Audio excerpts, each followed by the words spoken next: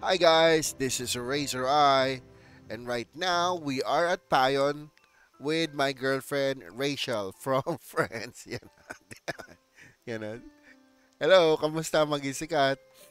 Ngayon, mamimigay ulit tayo ng 9th batch of Ragnarok Origin Codes.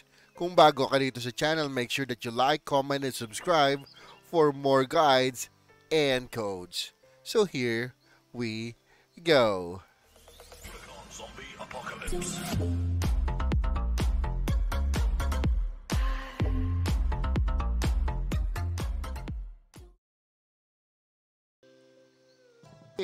Okay, so yun na nga, no? Nagkaroon ulit tayo ng bagong codes. So, check natin, no? Kung legit ba itong mga to.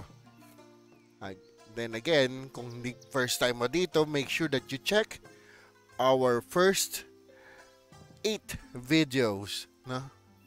So, saan ba natin i-redeem ang code? Sa reward. On the reward, go to redeem. At dito ka mag-redeem ng mga codes, no?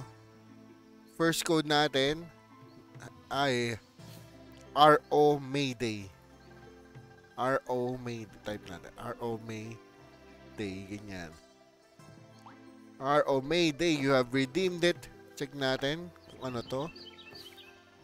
Ano bang meron dito? Yan. Mga Earth Crystal. Wind Crystal. Fire Crystal. Feeling ko para sa blacksmith yan. No? Para magpalit ang element ng iyong weapon. Very good. Redeem nyo na yan mga tol. Next is Arrow Origin so, no?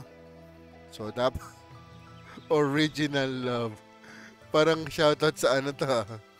Eternal love. Pero yun na, original love. Ah, wala. Baka ito, original love.